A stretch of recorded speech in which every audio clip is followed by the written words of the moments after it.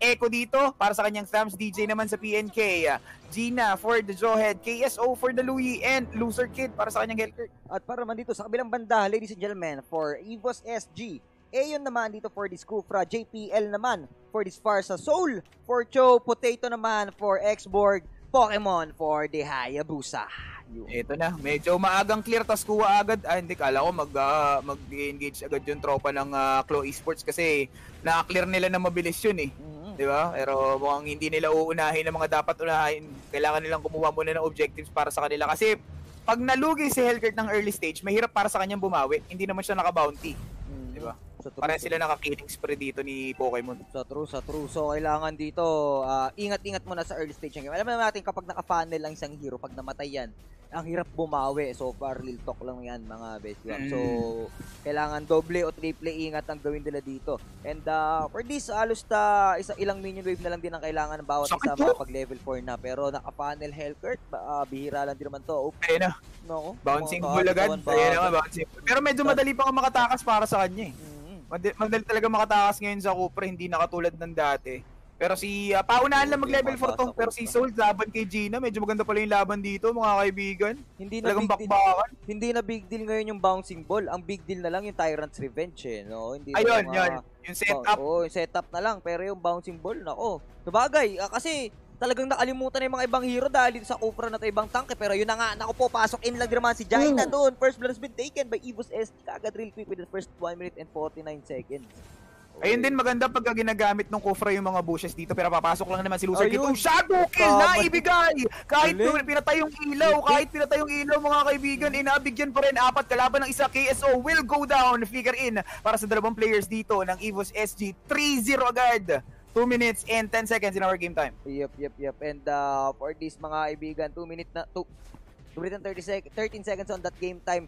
Mabilis kaagad naman ngayon ng uh, pinapakita ng Evo SG. So papakita yata nila sa atin dito na wait, wait lang, nagkama na nakampante lang kami ng game 2 pero hindi pa rin kayo mananalo sa amin. Yata ang papakita din ng Evo SG. And for Claw Esports naman, nakaisa na sila for Evos SG. Kailangan, wag na nilang sayangin yung effort na yun. Ando dun eh one win away na lang mapapatunayan nila na they are ahead. Uy, ayun lang. Hindi natin na off cam kill, off cam kill. Nakita na siguro nabigay yung Way of the Dragon doon mga sir kasi nawalan ng ano eh. Nawalan ng kulay green si Sol doon sa kanyang ano, sa kanyang uh, icon doon. So, ibig sabihin, pag may green sa mga gilid-gilid, ibig sabihin may ultimate sila. Pero speaking of, mukhang nabigyan si KSO, vacuum din naman. Pero si loser dito wala na burst. Mukhang hindi tumama halos lahat ng damage siya para doon. Pero eto na nga si Parin Potato, nagpadilim pa nga si Hellcurt. Last Insanity, pinutok pa. Tamaan nga ba? Flicker in para sa kanya. And ensuring that kill for Potato. Nagbalat ng patatas talaga yung mga tropa. Pero eto na si Parin PNK nginat ngat yung isa. Triple kill para dito kay Echo.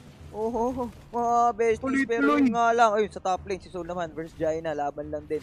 Okay, yung pinapakita dito ni Potato, ang laki ng uh, naging trade niya din doon na, na nalibang yung ano, yung Claw Esports nun for that Xborg and there's a post request for PNK naman on the side of Claw Esports. Yun. No? Oo, oh, medyo, ito kasi mahirap sa Claw.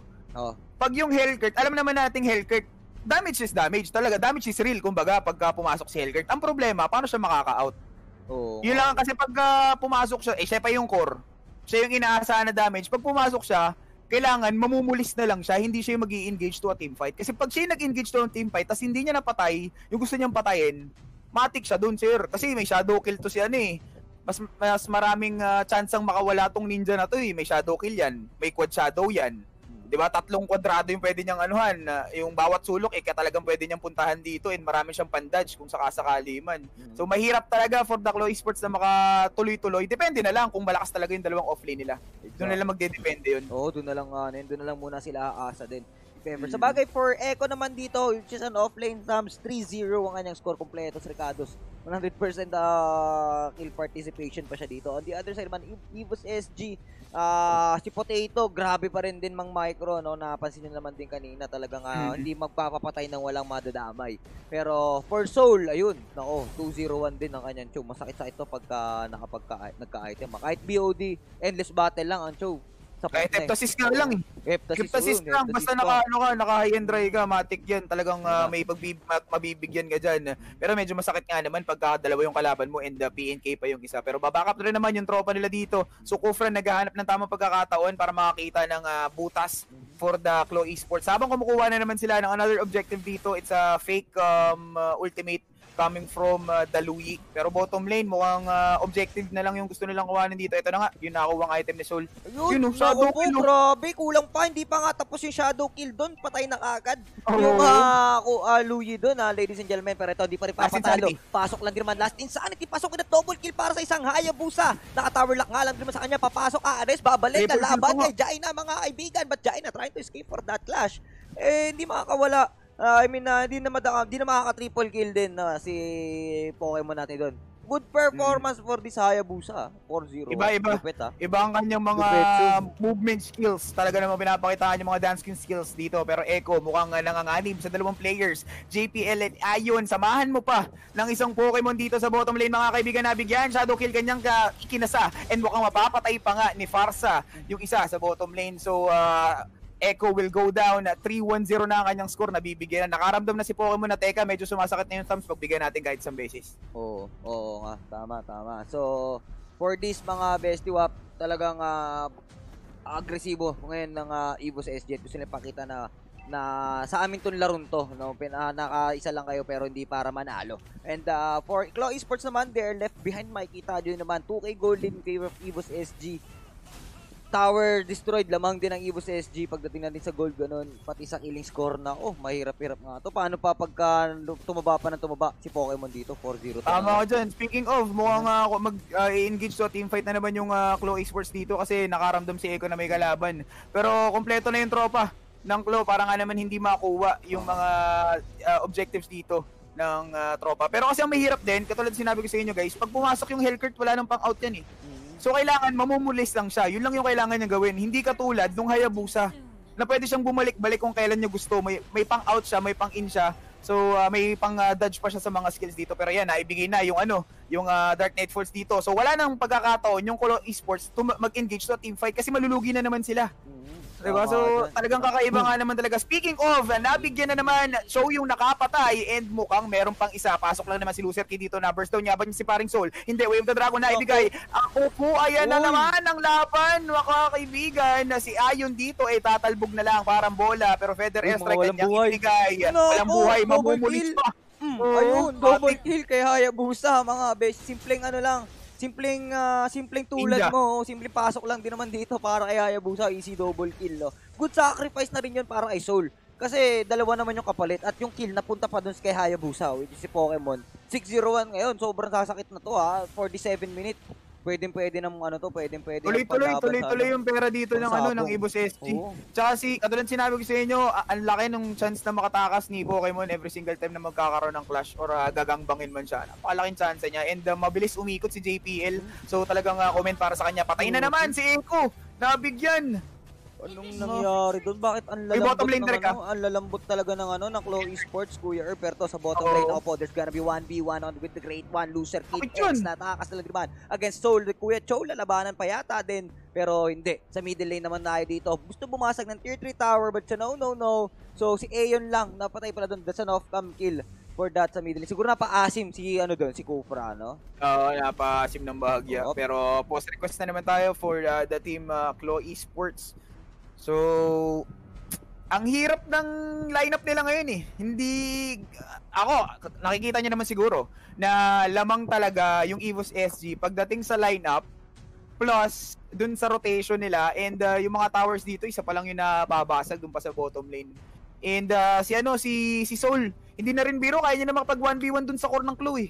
Si oh. Hellkirk, 'di ba? Isipin mo, nababurst damage na ng Hellkirk yun pero hindi pa rin siya napapatay. So, kailangan mag-ingat talaga niyan kasi pag nawala yung Hellcurt, wala nang damage dito yung claw.